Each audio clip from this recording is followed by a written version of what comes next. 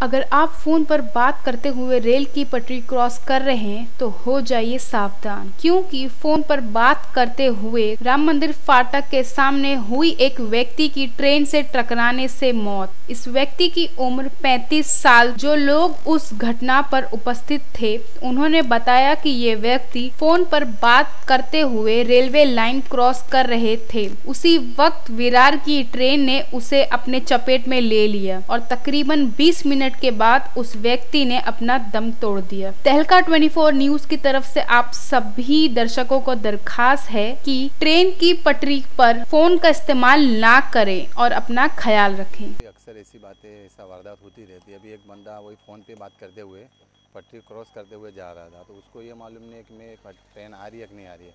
और जैसे उसने पटरी क्रॉस करने का ट्रेन आई, उसको झटका लगा, वो बंदा सीधा यहाँ नीचे गिर गया। मोबाइल और सब कितना दूर उड़ गया, उसको भी खुद का पता नहीं। और पूरा मुँह से उसका ब्लड चालू हो गया।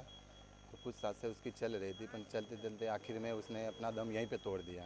तो अक्सर ऐसी वारदातें यहाँ पे होती रहती है, क्योंकि लोग कितने आप आते जाते रहते हैं, पर किसी को ये ध्यान नहीं रहता कि मैं बात करता हूँ, उनके करता पहले भी ऐसा अक्सर यहाँ पे चार पाँच बार हुआ है कि लोग आते हैं, फ़ोन पे बात करते हुए जाते हैं, उनको ये समझ में नहीं आ रहा है कि मैं बात कर रहा हूँ, क्या हो रहा है ट्रेन आ रही है।